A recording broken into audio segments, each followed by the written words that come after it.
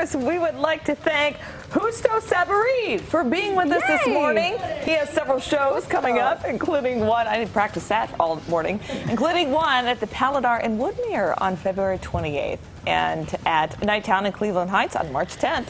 All right, take it away one more time, you guys. Thank you.